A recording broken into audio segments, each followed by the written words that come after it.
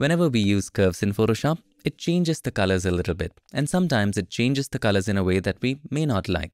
For example, if we were to create a curves adjustment layer here by clicking on the adjustment layer icon and then choosing curves, let's say this level, I want to keep it as it is. So with the help of the hand right here, I'm just going to click once. Then in this area, we're just going to click and drag it down to add more contrast. And for these shadow areas, click and drag it down again.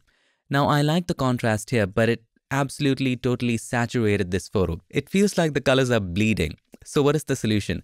A lot of professionals will tell you to change the blend mode from normal to luminosity. That way, it wouldn't affect the colors.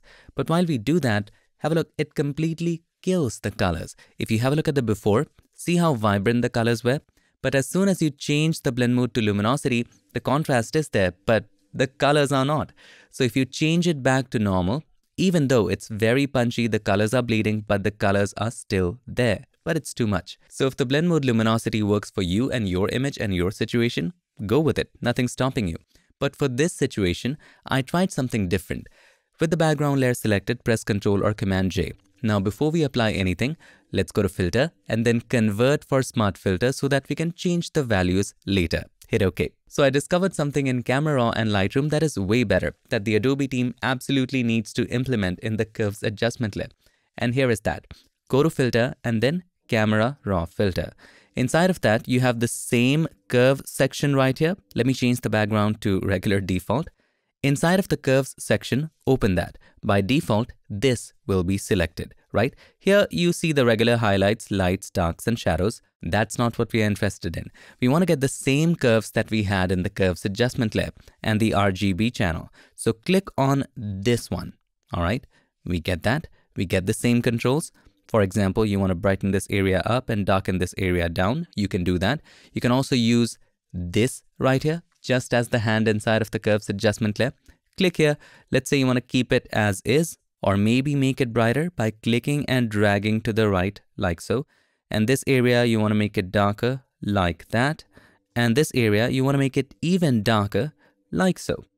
Now here as well, the colors are bleeding, but there is an additional slider right here that is refined saturation. Look how wonderful is that. If we take it all the way to the left hand side, it is just like the luminosity blend mode that we applied. If we take it all the way to the right hand side, it is just like the plain curves adjustment layer. So it gives you a nice control in between. So let's say I want to keep it right at about 50%. Hit OK and there you have it. The colors are not bleeding. This looks fantastic and it just works. Now the only problem with this one is that it cannot be applied as an adjustment layer in Photoshop. You have to merge everything and then apply it through the camera raw filter. Now what if you wanted to apply the same effect with an adjustment layer? Is it possible? Let's try that. Let's turn it off for a moment and just above the background layer, we are going to create a curves adjustment layer with the same settings, similar settings, with the help of the hand right here, click and drag it up. By the way, inside of the camera raw filter, we dragged it right or left. Here it is up or down.